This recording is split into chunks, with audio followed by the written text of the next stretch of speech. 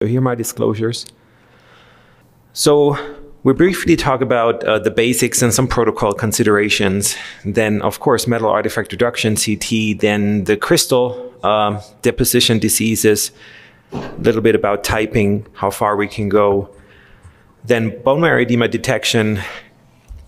And these three are probably the top three applications. And uh, we do this routinely. And then some of these are emerging I think collagen mapping, um, especially in the spine, is becoming uh, clinically viable.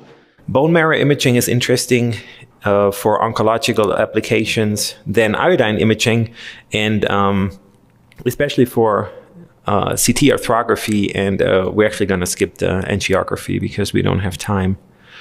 So let's talk about some basics.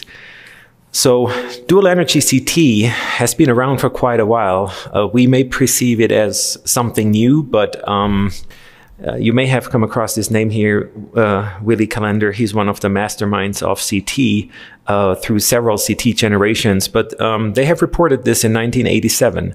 And um, the scanner technology wasn't quite there yet, but in principle, um, this has been around for a while, and even uh, with with the dual energy application there. So why is it working? And that's just a brief touch on that. So um, tissues attenuate uh, X-rays based on their uh, photon energy. So that is how we send the X-rays in. But then based on the atomic density and the atomic number. And this is obviously different for many, uh, for our tissues.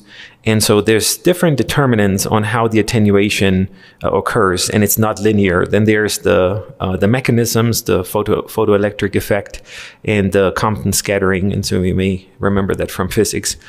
I think the bottom line is that it's not linear, uh, and it's not only not linear, it makes jumps, right? So if we, you remember from school, uh, somebody once said uh, nature doesn't make any jumps. So here certainly it makes jumps, right?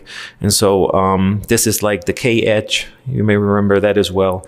And in body applications, uh, this is great also for MSK. Um, that you can get better iodine attenuation with lower KVs. And now that the scanner technology has improved and we have better heat capacity, uh, we can scan a lot more with lower KV and higher MAS uh, without scanners heating up.